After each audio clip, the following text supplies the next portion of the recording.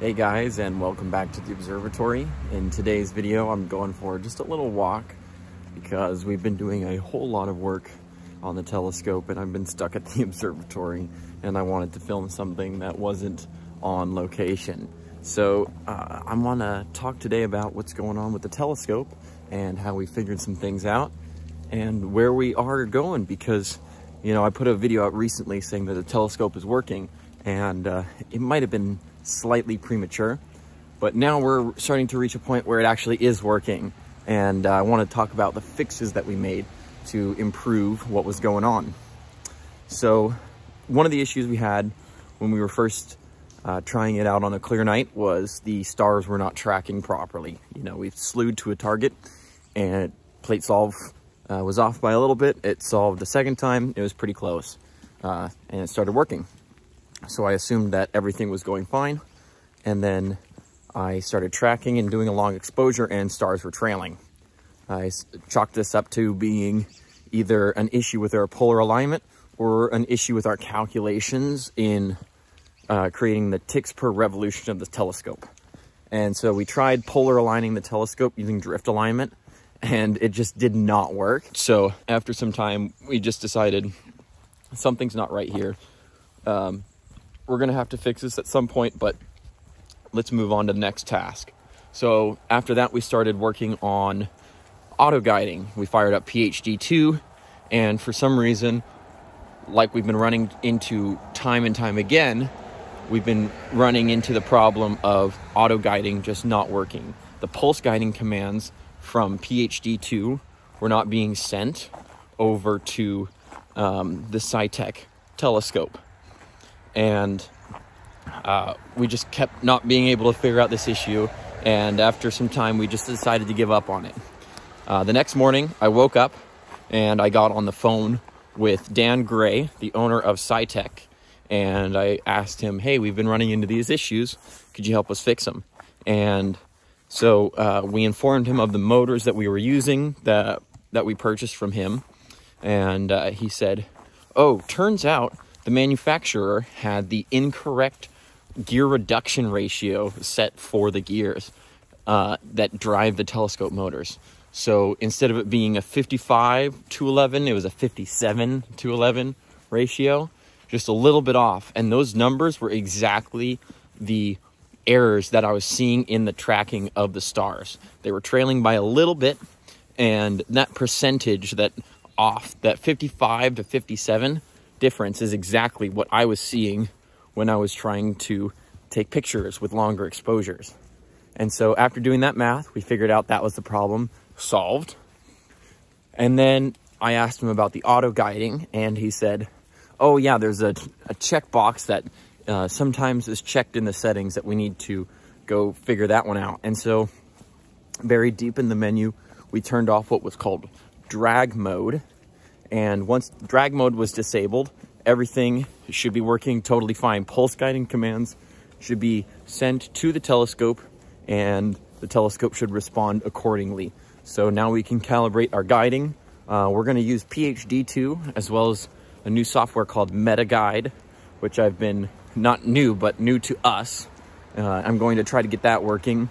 Uh, we were running into some issues with how it connects cameras to its software.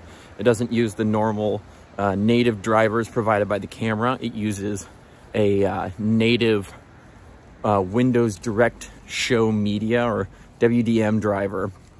And that is how it broadcasts a much faster uh, uh, frame rate signal over to the, the guiding software. So it can calculate, instead of just using longer exposures, it actually stacks shorter exposures really quickly so you can guide on the centroid of the star.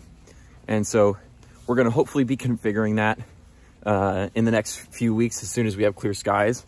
But uh, the issues we were running into was QHY, who makes our guide camera, does not support the native Windows Direct Show Media uh, drivers anymore. You have to do it through broadcasting. So you have to fire up SharpCap. And I was like, oh, that's stupid. I don't want to do that. So um, I got on the phone, or not on the phone, on Cloudy Nights, I messaged the guy who makes MetaGuide. We got the proper uh, drivers figured out. They're from 2020, 2019, something like that. and uh, we were able to get MetaGuide bringing up the camera with a native driver. Only problem is it's like three or four years old, which is kind of unfortunate, but hopefully QHY will start supporting native uh, direct show media drivers again because that would be huge and we could be running our camera our guide camera on the newest firmware with some superior guiding software. Um, but and then finally, we were always running into the issue whenever we fired up our telescope. Uh, it said that our telescope was off by uh, 25,200 seconds. And sometimes it was a number a little bit higher than that. I think it was like 26,800 or something like Not sure about the second number, but I know 25,200 was the number it kept saying it was off by, which is about seven hours actually. Not about, it was exactly seven hours. And so um, I was like, hmm, that's interesting. Seven hours is the difference between uh, GMT and Pacific time. So it looks like our mount's off by distance away from uh, Greenwich Mean Time anyways. So I figured out, oh, if we're off by seven hours, that's exactly what's going on there. So I talked to Dan Gray about this and I said, hey, this is the issue we're running into.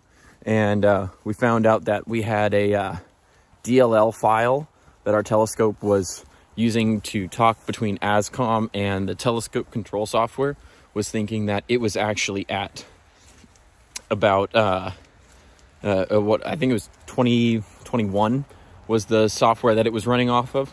And so Dan was like, okay, let me compile you the newest version of our software, which was literally compiled that morning.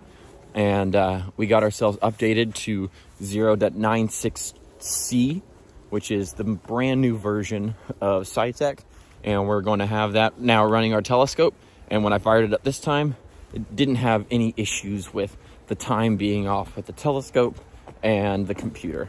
So things should be working perfectly and we shouldn't have anything to be worrying about now.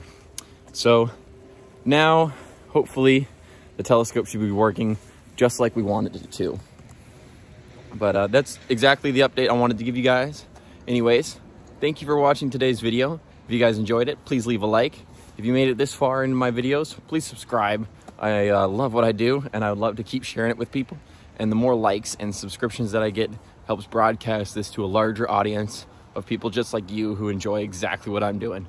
So thank you very much for watching my video and I'll see you guys in the next one. Peace.